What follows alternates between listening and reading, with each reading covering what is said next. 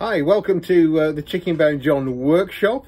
I'm just going to do a little sort of uh, video blog, vlog or whatever about what's happening in the workshop today. As you can see from rounders, we're a little bit ratty because we've sort of re-roofed in here and we're still all pretty temporary. We've got the floor to do and new benches and whatnot, but let's just see uh, what's happening. So we've got some necks that we're uh, progressing. Here we've got, uh, we'll just, we'll just wax these up with this stuff, just on the end of that pot of that uh, uh, paste wax. With the Put it on with wire wool and then buff it out.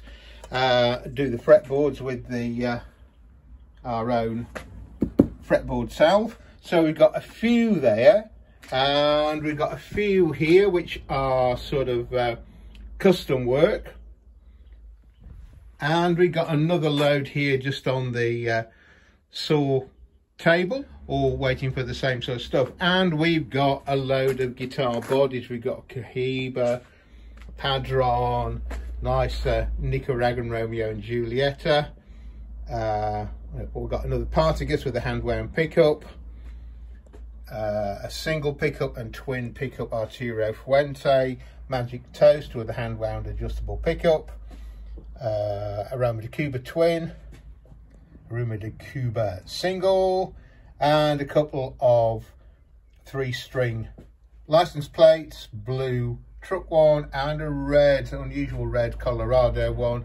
There's a couple of other boxes there for the four strings.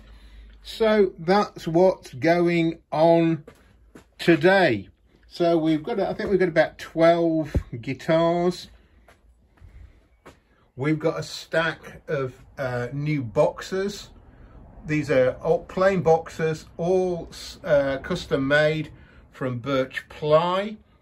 So we're just uh, playing around with those, experimenting on dropping in sound holes and routing pickup mounts for them. These are going to be going into our kits and new guitars. And indeed, here's some of those new guitars I've just put out in the garden because we run out of room to store them.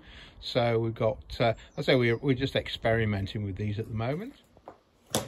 And here we've got another load of guitars on the go. These are workshop guitars in various stages of progress. Also hand, hand painted. And Anne's just sort of uh, putting in the electrics on one of these. These are the sort of custom ones where we get our humbucker pickup, controls, painted headstock and all.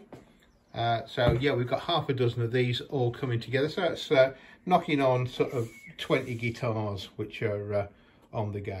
So that's what's been happening in the workshop. Um, we'll see if we can do another one, give you a bit more uh, idea on the sort of stuff we get up to.